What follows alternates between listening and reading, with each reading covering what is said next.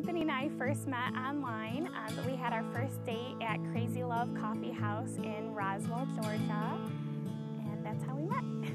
We met uh, through an app, and uh, we actually, funny story, we actually almost met a year before um, in a bar for St. Patty's Day.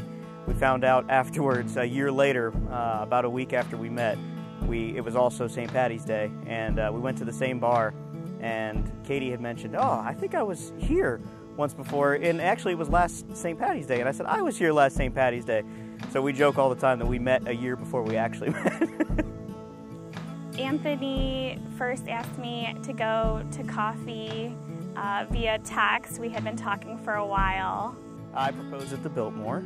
Um, I took her to the top of the hill, and then uh, we had some friends with us that they helped me hide the ring and all that. And we got to the top of the hill with the Biltmore in the background, and I was nervous the entire time that we were driving up to the Biltmore. Anthony definitely surprised me with the proposal. He proposed to me at the Biltmore in Asheville a few days before Christmas. So it was about a three, four hour drive and we pretty much hopped out of the car and I immediately did it, did it right there because I didn't want to wait all day.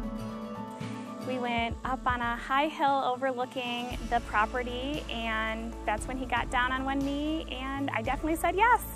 I love her heart. I love uh, how caring she is um, with everybody. I love Anthony so much and I love him most for how kind he is all the time. I love her intelligence um, and I love just how uh, she cares for me and uh, is really a true uh, partner. He makes me laugh constantly, and he just really cares about me and my whole family. Well, we don't we don't really fight much, but I we are very competitive. Yes. So I do get I do get mad when he beats me in word games. Particularly word games. normally I win. Yeah, usually. Word games, at least. Yeah. so there, we might get a little heated. We are. Yeah, we are very competitive with each other. I'm just excited to officially call you my husband. Yeah. Five years from now, where are we going to be? Uh, we'll be. I don't know. We'll as far married. as location wise. we'll be married. We'll be traveling. Hopefully, yeah, traveling, starting a family.